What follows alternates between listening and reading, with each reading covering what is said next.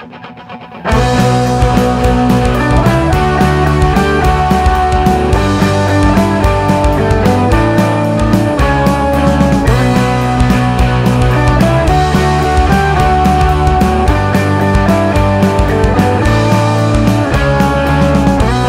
es tarde para desatar los pies. elegido.